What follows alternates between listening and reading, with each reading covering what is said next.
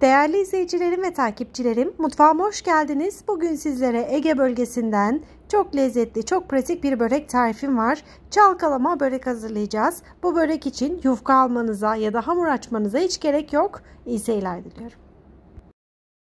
Öncelikle ıspanakları doğrayarak başlayacağım. 150-200 gram kadar ıspanak kullanmanız yeterli olacaktır. Bol suda güzelce yıkamış olduğum ıspanakları ince ince doğrayarak tarifimi hazırlamaya başlıyorum. Ben bugün tam mevsimi olan ıspanak kullanacağım. E, farklı otlarla da hazırlanan bir börek. Onu da belirtmek istiyorum. Şöyle biraz beyaz peynir ve biraz da lor peynir var elimde. Hemen üzerine kullanacağım peynirini hazırlıyorum. E, evinizde son kalan peynirlerinizi de bu şekilde değerlendirebilirsiniz. Böreği büyük boy dikdörtgen borcam için hazırlayacağım. Ee, genişçe bir karıştırma kabının içerisine 2 su bardağı mısır unu, 2,5 su bardağı da buğday unu alıyorum. Tamamen buğday unuyla da yapabilirsiniz. Ben biraz daha lezzetlendirmek için mısır unu da kullandım. Bir tatlı kaşığı kadar da tuz ilavesini yapıyorum. Hemen şöyle kuru malzemelerimi bir karıştırayım.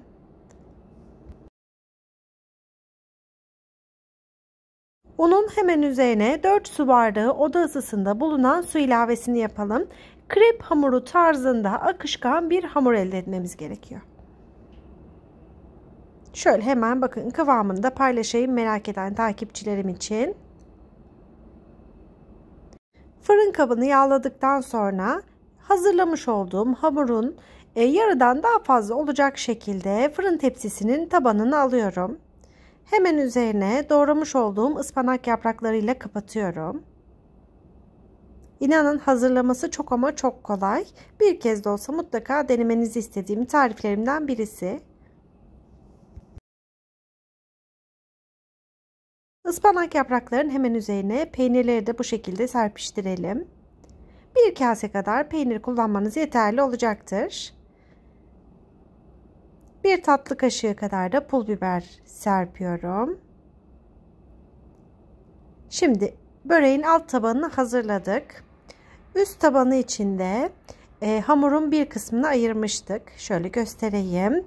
Şimdi üzerine yarım su bardağı yoğurt, yarım su bardağı da ayçiçek sıvı yağ ekliyorum. Bir tane de yumurta ilavesini yaptıktan sonra Homojen bir karışım elde edinceye kadar hamurumu çırpıyorum. Hamurda kullandığımız tüm malzeme bu kadar. Herhangi bir kabartma tozu vesaire eklemiyoruz. Şöyle önüme alıyorum tekrar tepsiyi. Kaşık yardımıyla videoda gösterdiğim şekilde hamuru ıspanak yapraklarının üzerine alalım.